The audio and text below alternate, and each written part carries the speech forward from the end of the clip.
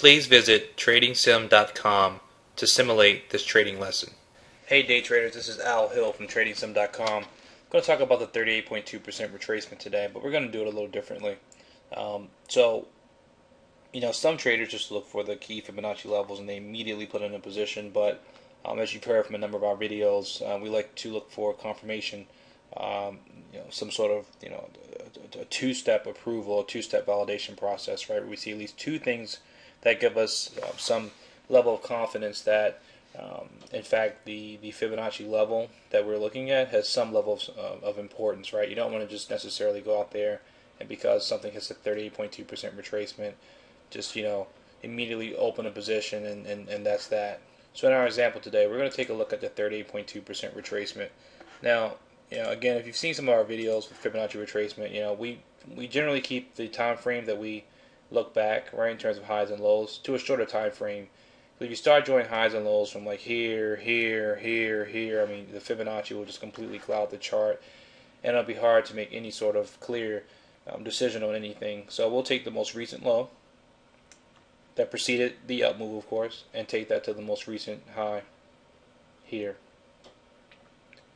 Now, if you notice, off of this high, we've come down, breached a 30.2% retracement slightly, but then quickly came back above it. And the one thing I like about this is when you have a situation where a 30.2% retracement holds, um, a lot of times when the stock continues to go flat and starts to make some higher lows in here, right? So low here, low here, low here, low here, right? So you continuously start to make higher lows.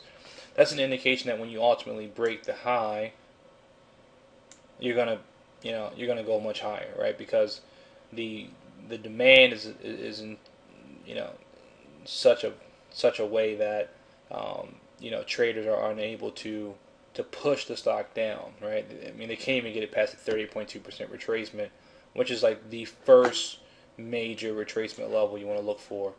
Um, so in this situation, right, we are at 12:53 in the afternoon, right? So you're kind of coming up later in the day.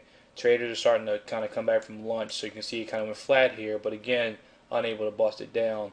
So if the stock's able to get above the high, you're going to have some sort of, of a run towards the latter part of the day. So let's go ahead and put an order out here.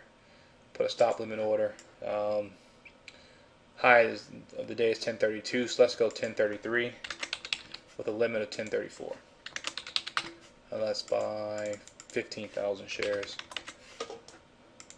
Alright, so that's our order out there. As you can see again, you know, price is holding up fairly well here. Um, no real uh, pullback. Okay, now, all right, now look at this, right? So volume comes in here pretty good.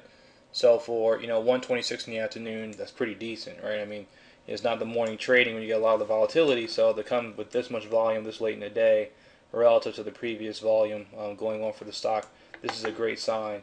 Also, remember we have lower, uh, higher lows, excuse me, and the 38.2% retracement held throughout the entire day. So volume coming in here with a potential price break, you know, things are looking really good. All right, you can see we're long here execution price was 1034 all right so we're long at 1034 and off to the races so as you see here right the key thing to remember is that one higher lows to volume as you approach a key level and a continuation of volume to the upside as you continuously push higher so we're going to look to you know of course take some money off off the table um, as as the stock Alright, so as again here, you know we had a nice little pull pullback. So as you see here, the stock's definitely going higher. Alright, so the key here in day trading is let's not get too greedy.